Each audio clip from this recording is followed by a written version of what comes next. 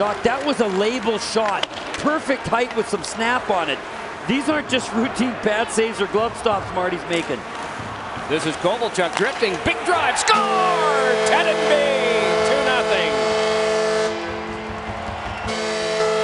Well, there you see the beauty of goaltending. Big stop at one end.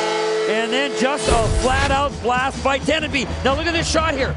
Marty just, did you see that folks? He just got it with his right pad, just the edge of it. And look at Ilya Kovalchuk. He pulls up, he'd like to cut across, but the great thing about Ilya, he's got two options. He could go across, but Tedenby was smart to go to that position because that spot will be vacated because that defenseman is worried about Kovalchuk coming across. He's going to stay up high, and that should be open, Doc, down in that area most of the time when Ilya comes across that blue line.